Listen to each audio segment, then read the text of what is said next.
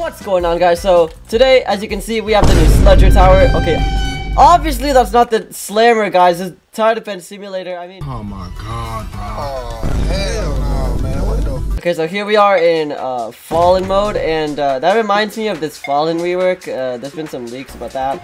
But anyways, uh, oh yeah, there's the Breaker 2s. I don't know how the Sledgers are gonna be able to handle that. Oh, I mean the Slam, oh, I mean the... The Brawlers! Yeah, yeah, that is that is troublesome. Yeah, let's get more Sledgers though. Those Breakers do seem pretty annoying. Let's use Call to Arms and see how much more they just knock the enemies back.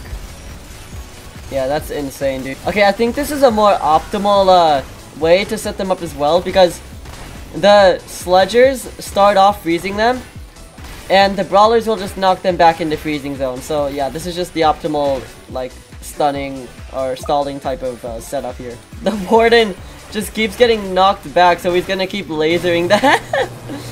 that I think that Warden has lasered them like three times in a row now. Holy cow. Uh, yeah, I fumbled that game pretty hard though. Maybe that's what I get for clickbaiting you guys. Is he gonna... Yeah, there we go. We're dead.